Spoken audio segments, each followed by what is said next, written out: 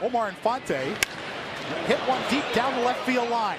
This ball is way back, and this ball is gone for a home run. Omar Infante, his fourth of the season, as he jumped all over the Ross Ohlendorf pitch, a 1-0 pitch, and he took it out. Another guy who continues to swing the bat well, Omar Infante, since the All-Star break around 340.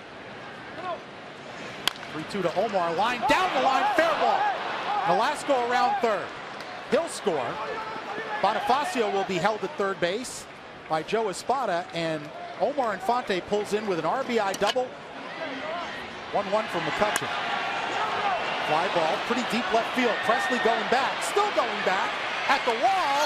It bounces off his glove and over the wall. It's gone.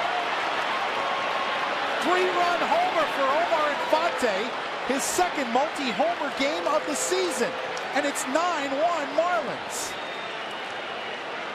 Wow, you are not going to see this very often. You've seen balls bounce off players' heads and kick over for home runs.